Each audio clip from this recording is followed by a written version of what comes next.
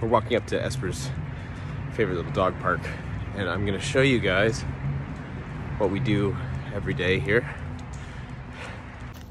You ready? Hang on, hang on. Okay, go. And that's that. Every day. what are you doing? Got a wild one. Esper, good girl. We need to close the gate.